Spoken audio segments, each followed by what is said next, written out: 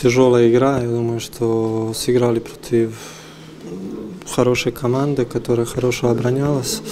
Э, мы, конечно, хотели выиграть после «Спартака», чтобы э, забрали очки дома.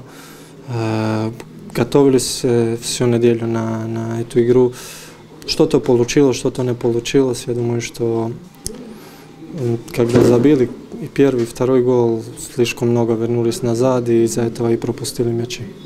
А, сегодня, что по игре, первый тайм полностью контролировали игру, вообще не давали сопернику ничего создать. Э, они с первых минут показали, что будут нагружать вперед за счет длинных передач. Конечно, блин, ну это было вообще, ну, со стороны смотрелось, ну, вообще, как бы отсутствие какого-то футбола в первом тайме у соперника. Мы, конечно, за счет своей игры, коротких пасов, э, подач, пасов за спину, пытались навязать им свою игру, в результате чего мы забили гол. Ты сегодня забил ударом Скорпиона. А, как вообще рассчитывал, не рассчитывал, и как вообще этот гол получился? Ну, подача была чуть-чуть сзади, я попробовал достать ногом. Тяжелый, конечно, мяч, но получилось все, слава богу, как надо. Во втором тайме, конечно, выходили с настроем не удерживать счет и играть, продолжать свой футбол. Но, может быть, соперник тоже немножко перегрупп... перегруппировался, и поэтому не все у нас стало получаться. Больше где-то как-то на протыках начали играть. И я подсказывал ребятам, чтобы надежнее, надежнее действовали на своей половине поля. И вот эти невынужденные ошибки в приемах мяча, в передачах, вот они привели, конечно, к пропущенным голам.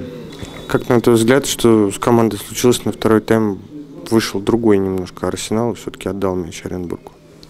Ну, это психологически такое получается в многих командах. Просто когда забиваешь первый, э, другая команда нужно атаковать, ты как будто пускаешь их э, чуть-чуть э, с преимуществом, чтобы на контратаку забил. Ну, я думаю, мы это неправильно сделали, потому что очень много простора им дали, вот сыграли 16 метров наших, и вот две подачи, два гола. Э, ну, надо учить над ошибками. Ахмат, потом Локомотив, сейчас сложная игра против Оренбурга. Как команда к этому графику готовится? Ну, какие цели и задачи? Ну, у нас в этом году, как никогда, э, хорошая база в команде. Ну, я имею в виду, что по игрокам, что большая скамейка, да, у нас есть. То есть э, могли обратить внимание, что у нас немножко поменялся состав после игры с Спартаком. И, в принципе, нас много ребят все готовы, так что, думаю, проведем хороший матч, будем готовиться к игре.